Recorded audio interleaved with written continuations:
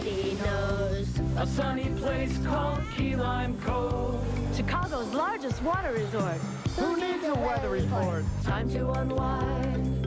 The water slide will blow your mind.